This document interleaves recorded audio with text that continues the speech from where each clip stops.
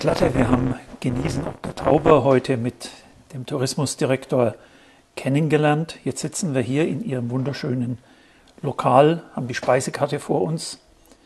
Und ich überlege mir, wenn ich selbst Gastwirt wäre und ich würde eine Aktion wie Genießen ob der Taube unterstützen. Da geht es um die weinbegleitenden Speisen und da geht es um die lokale Herkunft. Dann würde ich so diesen, diesen diese Abwägung spüren. Auf der einen Seite willst du mit den lokalen Bauern, mit den Leuten von hier aus lokalen Kreisläufen einkaufen. Auf der anderen Seite musst du ja auch kalkulieren und günstig einkaufen. Wie schaffen Sie es? Es ist schwierig, aber für mich persönlich steht die Qualität im Vordergrund. Die Qualität muss stimmen. Und ich denke, wenn die Qualität stimmt und der Gast es schmeckt, dann ist er auch bereit, einen etwas höheren Preis zu zahlen, wenn er das merkt und wenn ihm klar wird darüber, die Sachen sind wirklich von hier aus dieser Gegend. Ich kenne meine Weinlieferanten, die Winzer. Ich kenne meine Metzgerei. Ich kenne meine Jäger, von denen ich die Wildschweine beziehe, die Rehrücken. Das ist alles aus dem Taubertal und aus dieser Gegend hier. Und das ist, gehört für mich für die sogenannte ehrliche Küche, wie sie heute oft beschrieben wird, einfach dazu. Das hat seinen Preis, ja, aber ich sage, es ist nicht billig, aber es ist preiswert. Und man muss auch selber als Gastronom hinter dem stehen, was man verkauft.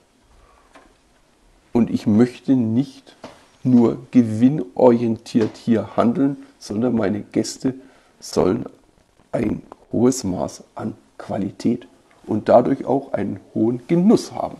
Das steht für mich also im Vordergrund. Als jemand, der sich mit Lebensmittelpreisen, gerade im Bereich Fleisch, ein bisschen auskennt, äh, da unterstreiche ich Ihr Preiswert jetzt. Denn wenn dreierlei fränkische Bratwürste ich habe mir die vorhin mal genau angeschaut. Das ist eine grobe Bratwurst, eine geräucherte Bratwurst und eine Nürnberger Bratwurst.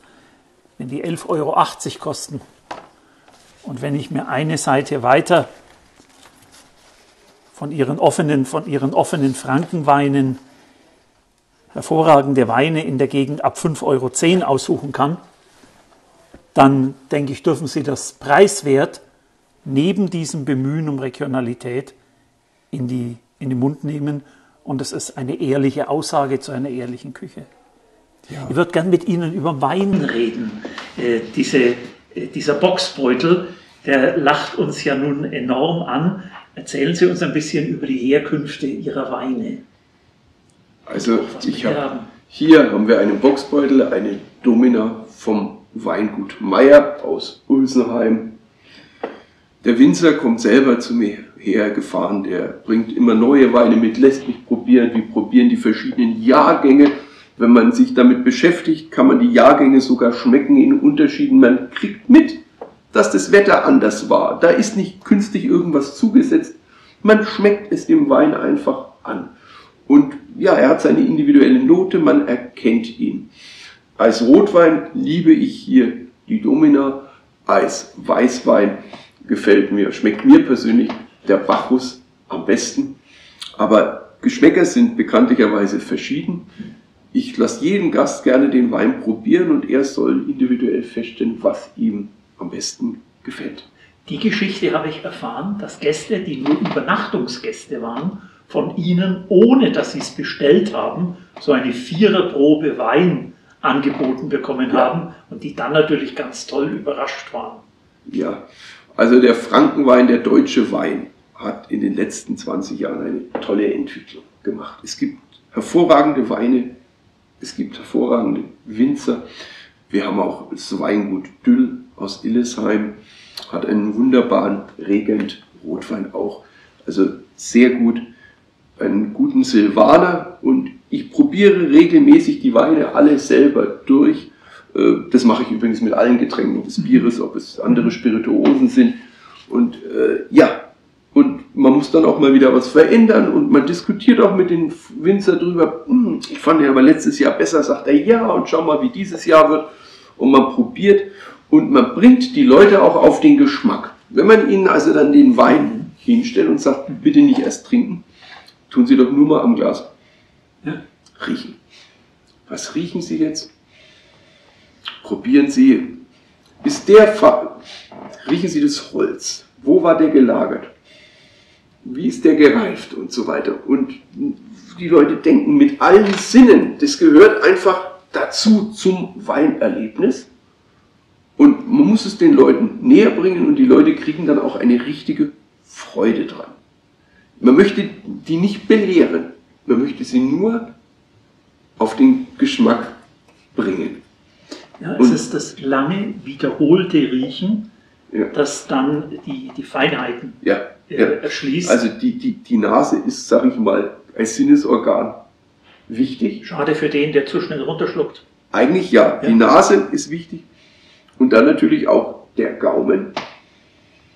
Und es ist, ja, es ist ähm, einfach etwas Interessantes. Und ich sage immer, der Spruch ist nicht von mir, das Leben ist zu kurz und es ist zu schade, um schlechten Wein zu trinken.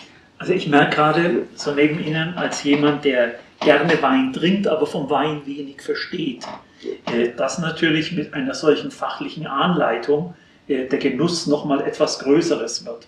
Und ich denke, das ist nicht nur beim Wein so. Wenn wir zu allen Dingen, die wir an Lebensmitteln verkaufen, äh, wenn wir da auch ein Stück Kennerschaft geben, dann wird der Genusswert für die Leute noch größer sein. Ja. Und jetzt will ich unbedingt auch mal Ja, jetzt. Trinken. Also sehr zum Wohl. Soll zum Wohl sein?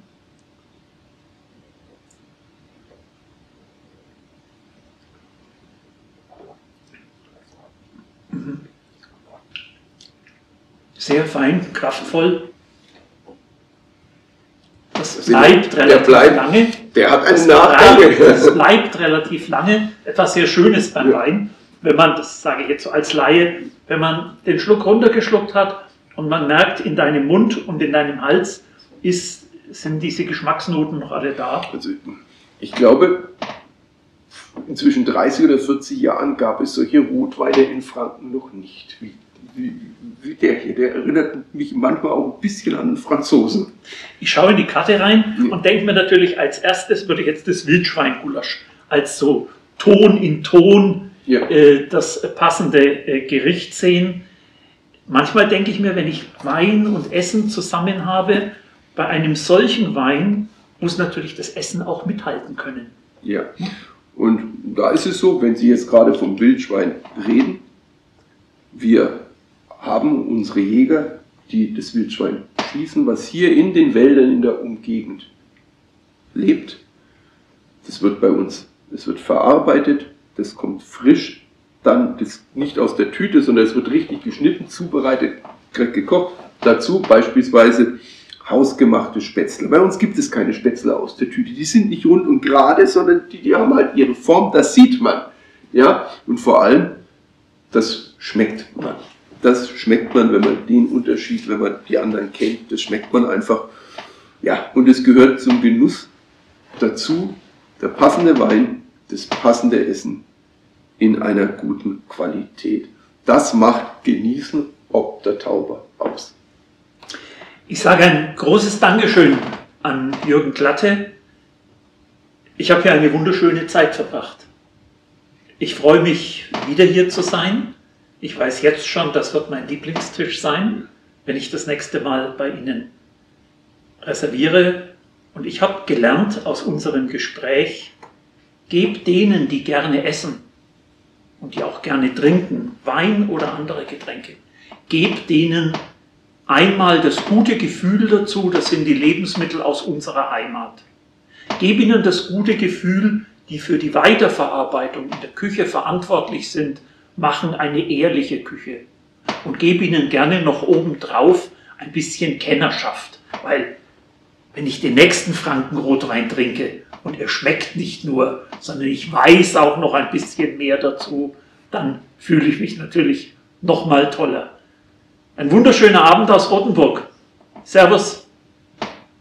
So, vielen Dank.